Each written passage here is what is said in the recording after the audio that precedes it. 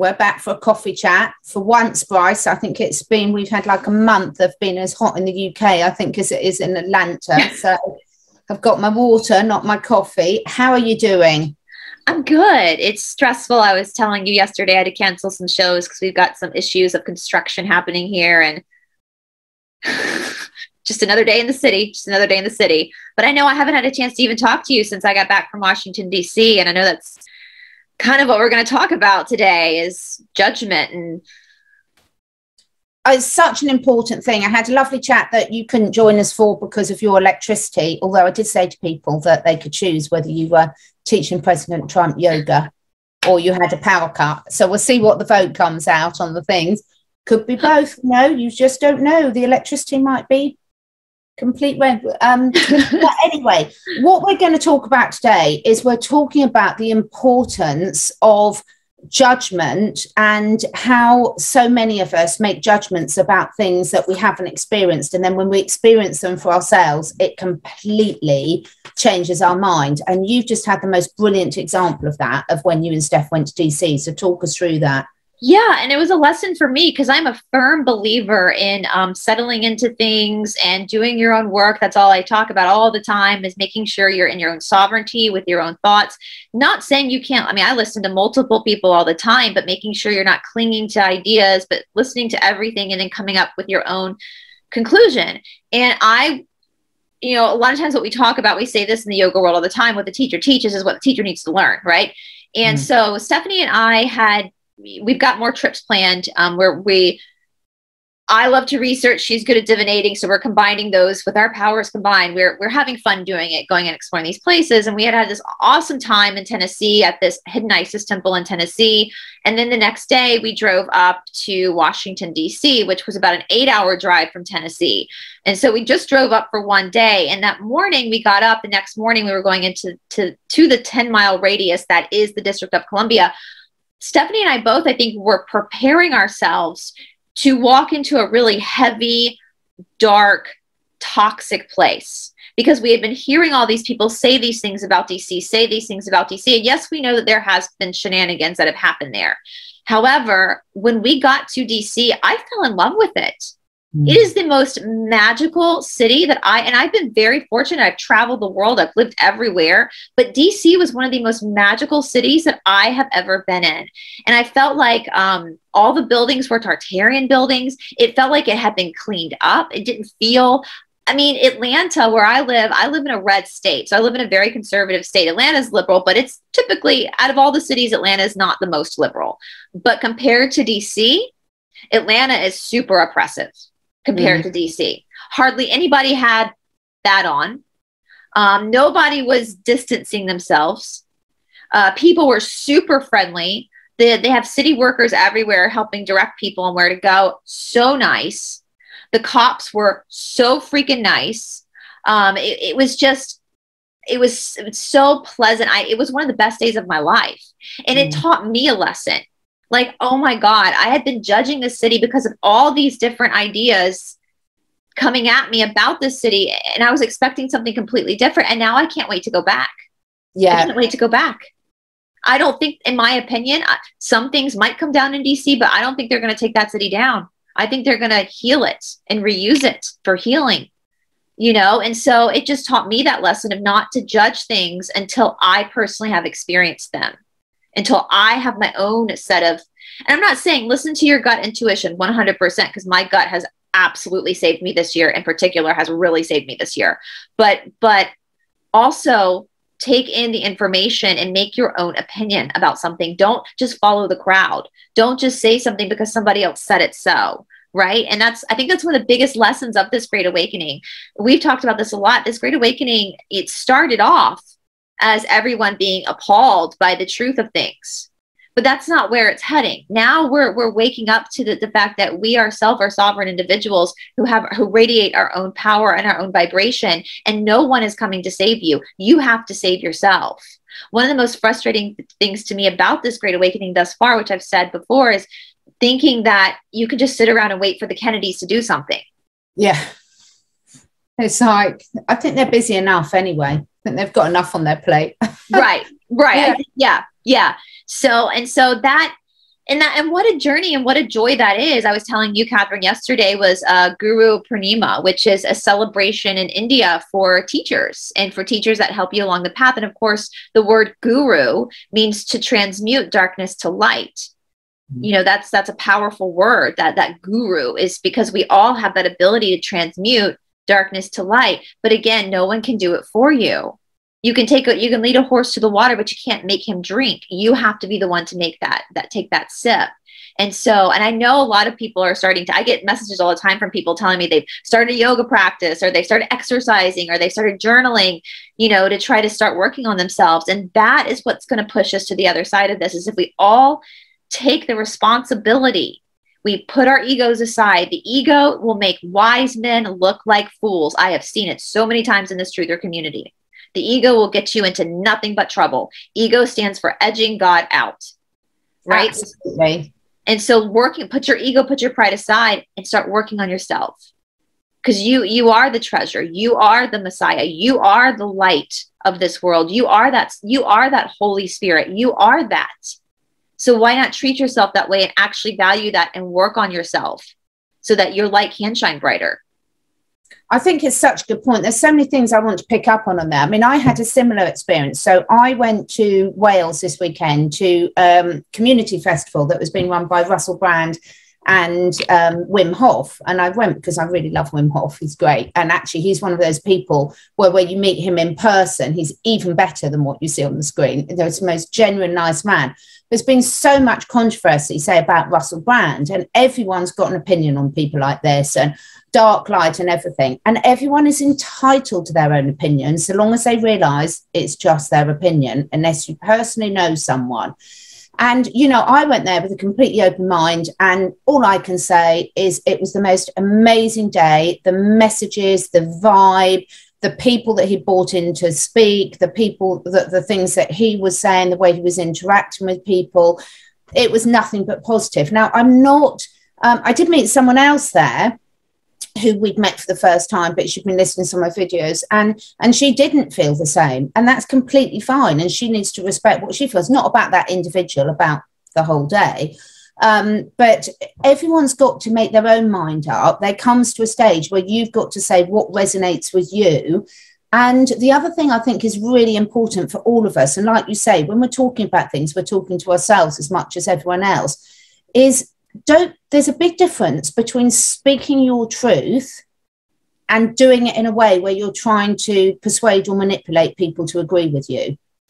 Yeah. And th- I think there's a huge difference because everyone does have an opinion, and that is all it is. It's their opinion. And yes, you can bring in the more work you've done on yourself, you'll bring in your intuition, your gut feel, and things. But so often, so long as you're open minded, like you were, and like I were, enough to actually change your mind when you a different thing presents itself to them right here, right now. And had you gone to DC five years ago, you might have felt very differently. Had I met certain people five years ago, I might feel differently but that's not the point. We're all here right now. And if we're going to constantly drag up everything and everyone's past, all we're going to do energetically is take us ourselves and everyone else back there to that past. And that's the thing energy can't be created or destroyed, it can only be changed. And so if we look at using DC for an example, yeah, five years ago, it probably felt terrible but somebody's been there and somebody's worked on it. Somebody's cleaned it and cleared it and so that energy was transmuted. You can't destroy it. You just can't and i know i've, I've been talking a lot with our friend cindy. I know you know cindy. She um and she part of what she does is she uh, removes demons. And i we were talking a lot about the it's actually the in my opinion the best way to do it is how she do it does it where she heals them she tries yes. to send them back to the light. And how amazing is that? Because it is like the, the human, uh, the human, human mind, the human experience, right? We're constantly, I'm not the same person I was 10 years ago. I'm not the same person I was 20 years ago. I'm constant. I won't be the same person 10 years from now. I hope I'm not the same person 10, 10 years from now. If I am, that's that's shame on me for not doing my work. You know, um, we're constantly moving and changing our energy as we grow and we evolve. And when we go through trials and tribulations, as I think these last couple of years has been for a lot of people, we've had to face things that we never expected to face. And when we take that friction and we actually bring it within ourselves and we settle into it and we work through things, even though that work is hard, even though that shadow work is hard, even though that can be rough, at the other side of it, you always feel so much better and so much more liberated because you do have your own sovereignty. You do have your own um, autonomy over yourself. And, and this is not just something that's common in the truther community. You see, this is just a human issue. We, I see this in the spiritual world all the time where people will try to mimic a teacher versus taking what the teacher is offering and finding that lesson within themselves you know it's like we we as humans feel this need to to mimic versus stand in our own in our own understanding of things. And so it this literally is but those of us who are awake what a great opportunity to be able to take such a magnified world issue and see it for what it is and then settle into it and bring it into the micro to then transmute ourselves into this new timeline. And you're right. You know, and I was saying to someone earlier today about this idea when you talk about like going back to the past, like sometimes for me, forgiveness is hard. Like I'll admit that's something I really struggle with. Um, I can blame it on being an Aquarian, but I'm not going to do that. It's just something that I have a hard time with is forgiveness. And I have a hard time once somebody has lost my trust. I have a really hard time being able to get back to a place of trusting that person again because my mind always goes back to to what started that betrayal or whatever. And so for me it's right it's it, when you sit going back to the old patterns like that's something we all have to work on whether it's with ourselves whether it's judging someone else whether it's the process of forgiveness whatever that is we don't want to go back to where we were because that that's not that's not growth that's not evolution. We want to constantly be moving forward within our own minds and within our own psyche and within the only piece the our own peace that we have within ourselves. And our friend shanti talks about this like i have a hard time forgiving. So if i mirror that back to myself what is it about myself that i can't forgive? What is it about myself that has put me in that place of wanting to my mind to go back to the dark times, you know? And so that's where we start to really pull up that shadow work and that transmutation of energy and stand on our own two feet and let go of some of these attachments to other people's approval, other people's expectation, what other people say is true. And we find what we think is true in that moment, knowing full well that that could shift and change. Yeah, and it's so lovely when you see it. One of the things I like most about, you know, the comments we get under our videos, the good, bad, and the ugly, is seeing how beautifully it's very obvious when you read comments about who's doing the works or, or not. And I've seen some beautiful examples that I've really learned from recently where someone's put something um, very negative, for example, about some person and then someone else has stepped in with a really gentle but loving response. Mm-hmm. and and then the other person's come back very triggered by it. But because the conversation's gone on you can sh- see the energy of the conversation shifting below. And i think it's really beautiful to see because at the end of the day as you say energy cannot be created or destroyed. It can only be changed or transmuted. And all, also you are there are only two things. You're either growing or you're dying mm-hmm. or decay, whichever you want to say. So, in each, and that can be a constant fluctuation throughout one day for people. But if you take it in terms of your spiritual inv- evolution, your internal growth, are you trying to keep that growth curve going up, or are you finding yourself slipping back into old habits? Because we're so many people uh, are sort of saying, why isn't it happening strong enough? Why aren't these people doing that? Why aren't people doing that? And it's a perfect example, again, to hold up that mirror and say, why am I so focused on what they are doing? What am I doing? What am I doing right here, right now to create the world that I want to be living in? Yeah.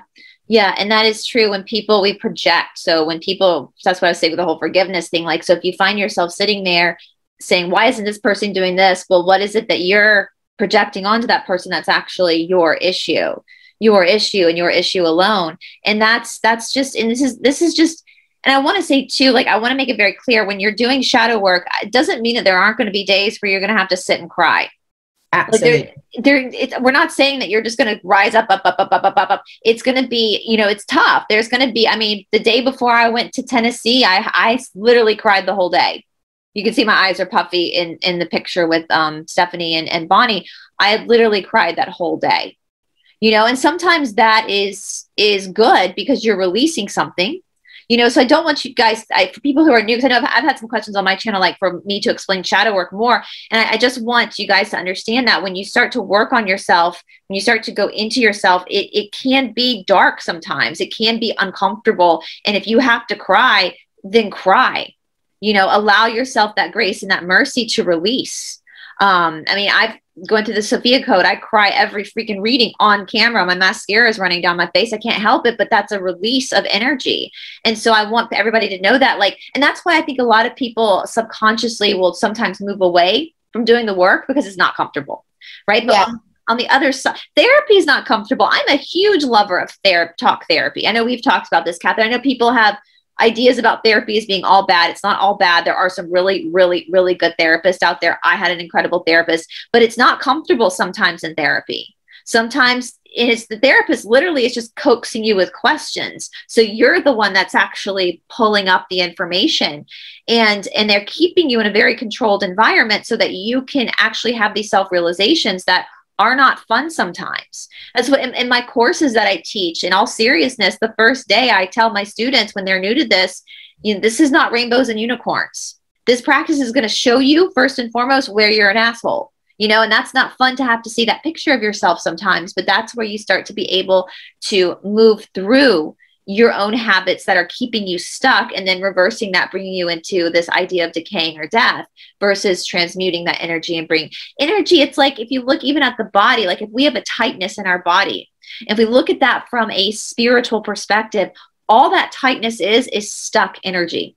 That's all exactly. that is right? So you have the ability to work through that to start to unstick the energy so it can then move and a lot of people you see in not just yoga, tai chi, martial arts, I'm sure it happens to happens to athletes sometimes where they're moving their body and something releases and they feel it release. Oh, absolutely. Yeah, it happens a lot. And this fits in so well with what Jamie and I were talking about for the fourth agreement of the book, the fifth agreements yesterday about always doing your best. And your best when you're feeling ill or sick or depressed, you know, that your best will vary day by day and often several times during the day. But when you, I think the thing is, is when you go to bed at night, you and only you know whether you feel you've done your best, whether you feel you've kept an open mind, whether you'll feel that you're growing or decaying. And again it's it's not about judgment. It's not about suppressing feelings. Completely the opposite. It's about being honest with yourself. And when you can really be honest with yourself warts and all then everything starts to shift for you. And i think this is what worked for me. You know we were talking before we started filming about where are we at? Where do we feel we're at now? And i think this is such a key part of the process for me is about every single one of us starting to take a really honest but non-judgmental look at where we're at and saying right now which bits do i want to transform? Exactly. It's funny you were saying that about going laying in bed at night and i, I do that often and I, I want to tell people sometimes the best you can do is taking a day off and crying. Sometimes that's the best you can do that day. And to listen to that, I think part of the old system that we're trying to leave is this idea that we have to check things off of a list. And that's not necessarily the case sometimes. And listen, you know, right now, I know that the whole July is the, the, theme of death and rebirth, and a lot of things are crumbling. And I know that there's, I feel anxiety. There, I know we're all kind of feeling these different emotions because we don't know what tomorrow is going to bring. You know, we don't have a. I keep laughing and saying I would be a happier human if Trump would just give me a syllabus of what's happening. I'll keep it a secret. Yes. Just give me a syllabus. My PTSD will relax. But you know, but but also on the other side of that, I can. You have that choice. You can either look at it from a stressful position and play into that anxiety or I can step back and for me, I can take, a, I can turn around and look at my life. And if, if it all ended tomorrow for me, I'm proud of this life. Mm. I'm, I'm not because I, you know, started some crazy business and made millions or not because of it, but, but the amount of work I've done. There have been times where I wasn't the best person in the world. There have been times that I'm kind of ashamed of, but those places brought me into a place of healing and recovery from from being a human and trans and so if i were to leave if i if heaven forbid something were to happen today and I were to leave this this life, I would be totally happy and proud of myself for what I have actually done and accomplished in this life with myself, just within my own inner world of self work.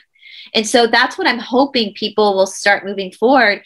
You know, they won't put their value in like what they've done business wise or how much money they've made, but how they've worked on themselves, what kind of a person that they have you know in if they're nice to people is it a genuine kindness or is it because they've been told to be that way?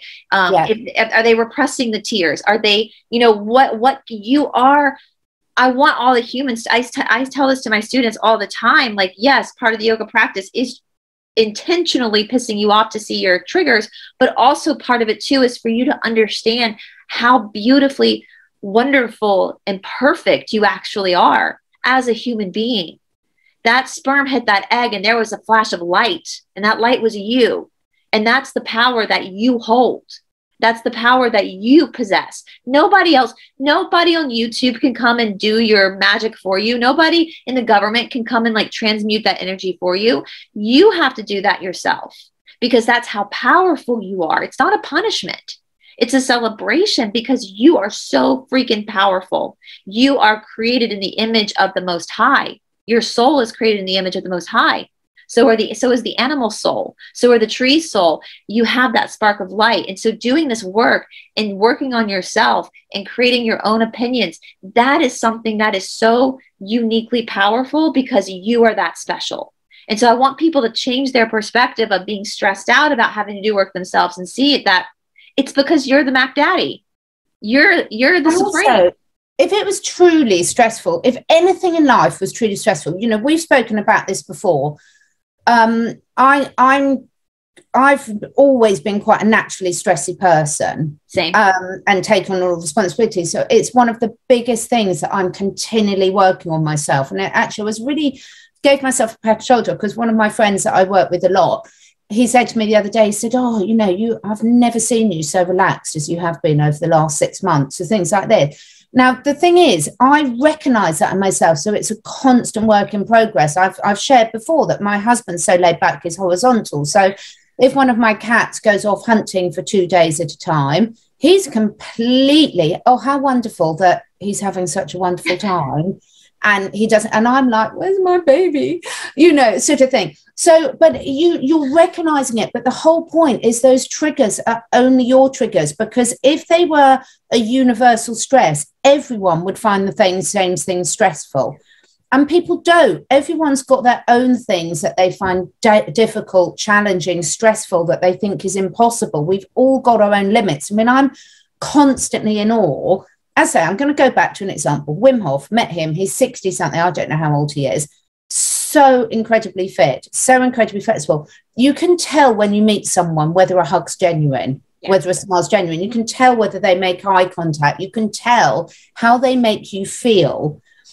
And the thing is, not everyone's going to like the same people. It's not about putting someone on a pedestal. I don't mean that at all. But I mean, when you truly accept, when you're doing this work, and you truly accept you can't have it both ways. If you believe that we are all connected, and if you believe that we have some control over our own reality, then you've got to accept all our reality. So if you're attracting the same triggers into your life all the time, I've been through a phase of that recently. you've got to take responsibility for it and say, I have attracted that into my life. There's a lesson here I haven't learned. And there's one, I won't share with it now, but I will share it with you all, but it's not appropriate to share it now. I'm still learning it. I'm still learning it, but I can recognize I'm still learning it because the same triggers are coming back into me. And I'm like, okay, I'm the common denominator here. Well, and that's, your high, that's your higher self. That's um, so, yeah. so when you, it's like when a, you know, we've all used this example before because it's one of the most common. It's like when you have a girlfriend that's constantly dating the same type of asshole. It's a different guy yeah. each time, but it's the same. And who's the common denominator? It's the girl. And so what's happening though is that unresolved issue within you is magnetizing that in to heal it, to heal it. Absolutely. So until you actually realize that that's what's happening, it's like, that's why when you realize your triggers, even though triggers aren't fun, we all have them. Um, when you realize your triggers are literally your higher self going, "Hey, pay attention to this," you can go, "Oh snap! Like this is my pa- this is the power move. This is the plot twist okay, I see you. This is what I need to heal and work on. And um, and there's so many different ways to do that, whether that's through exercise, journaling, therapy, um, you know it's it's and for me I, I i use humor a lot i think you do that yeah. too catherine it's it's when something really stressful happens to me i try to find the humor in it to, to dissipate the stress to me and it really works doesn't it it really does dissipate things although i have got myself into quite a lot of trouble in my school days with laughing at very inappropriate moments but it still made me laugh. Yeah. Uh, but people often ask us why do we do this? And for me i've been again i've been thinking this why why am i talking to people and have these chats that people might think are insignificant or they might find useful depending where you're at? And for me the reason is is like i love connecting people. I love the fact like you've just hit on there's so many tools out there. There's products there's light therapy, there's journaling, there's yoga, there's cold showers, there's breathing, there's walking barefoot, there's hugging an animal, there's there's doing something kind for your neighbor, there's hugging a tree, uh, you name it. There, plus, all there's every possible range that you could have from free of charge, you can do yourself anywhere to spend a fortune and get some help along the way. And all of those are useful. So, what I love doing is showing people that, that all these opportunities that are open to them if they want it. And all you've got to do as an individual is find one that resonates and just start somewhere because we will all go through stages of our life where we do hit rock bottom or have really tough challenges. So it's not it it's not brushing over those, but it's just saying there's so much help out there for you if you want. And the first step is just asking and being open. And I, I was just, as you're saying that, I was reminded of a few years ago, there was a radio DJ here in Atlanta at the morning show. And he talked about, he was talking about the whole thing about energy again, not, you can't, you can't destroy it or create it. It has to be transmuted. And he put a challenge out this one morning. And I don't know why I remember this because it was, I guess because it was such a good idea. He said, you know, when you go about your day and someone does something to you, like flicks you off or reacts negatively to you, watch how that then changes you and how you start treating other people. So his challenge was if someone were to like flick you off in traffic or say something nasty to you, take it in and then make the decision that the next person you see, you're going to be nice to. You're going to smile at. You're going to try to help. And that's your power. That's how you start to transmute that. Now, think about that within yourself. So, that's another person shooting, projecting their energy onto you. Think about the energy you project onto yourself. So, when you say something unkind to yourself, or when you're triggered by something somebody did unintentionally to you, if you can stop that for a second and then try to move through it, change it, that's again your superpower. That's that's that's the god particle. That's the light source within you. And how and if we all did that like how the world would change overnight if we all practice that consistently. Consistently. And, and I, am saying that more to myself too because i'm the worst when it comes to Atlanta traffic. I'm usually the one flicking people off when it comes to Atlanta traffic. I can't so. drive in City Sense anymore. I was so impressed with you and Steph because I just can't because I just haven't done it for so long. I'm just like, oh, but I can, of course. That's a complete rubbish statement to make. I can, but I choose not to. But on that note, just doing something small that's kind for someone else can completely just have a huge ripple impact so quickly. So on Sunday, when we were at this festival, the guy in front of us at the lunch queue um, the police was just um, taking cash and they'd run out of change. And so he had four pounds left that he couldn't get back in his change because they didn't have a change. He said, Don't worry about it, just take it off their order behind. And then everyone started doing that. So by the time soon it was like 25 pounds and someone who couldn't afford to get something could then get a free lunch. And and this ripple of joy that went through that started off with one person just saying, it's fine, pass it forward, sort of thing. And it's just so easy. It's those little things, just a smile, a nice word to someone, or actually stopping off your phone, getting off your phone, and just having a proper, present conversation with someone can just transform someone's day. So, spend extra five minutes with your dog. Exactly. Extra five minutes petting and cuddling your dog. It's going to change your dog and it's going to change you too. Yeah, it's um but I will say, ever since we started talking about this, more and more people, and you're right, Catherine, more and more people are taking the initiative to work on themselves. And that's so excited because even though there's still a lot of people in the world who won't do it, when one person shifts, they vibrationally change five other people around them, we'll say.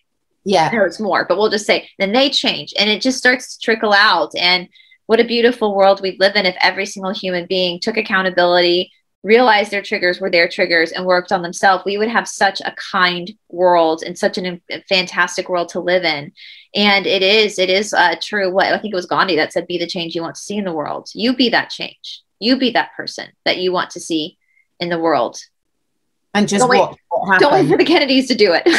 yeah, don't wait for them. They've got enough to do. Yeah, so you believe it. So, um, yeah i love it. I always feel so much more positive after our chats. And um uh, you know we're, we're, we are going on this journey with you. We are absolutely not saying that we've got this all of this thing but what we are saying is we're completely committed to working through it. And i have seen such a huge transformation in myself because you know i am so much happier so much calmer um so much I, i've always been excited for life but i'm so excited for everything. And, you know, I do not see this as Prison Planet at all. I really don't. Your shift that you saw in Washington, D.C., I see on the whole planet. I really, really don't. I know that there's people having terrible times and other things, but the best thing I can do to help that them is to work on myself. Yeah, for sure.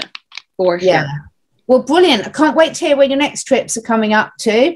Um, I'm so pleased the internet was on today. Jamie and I missed you last night. Um, no, shout out to Shanti from Aquarius Rising Africa too. I couldn't get on with her. I like panic panic text morning early in the morning and was like, oh, my internet's not on. So, um, oh, and so. they understand better than anyone because they've had so many internet problems. The amount of times poor Shanti gets chucked off her own show.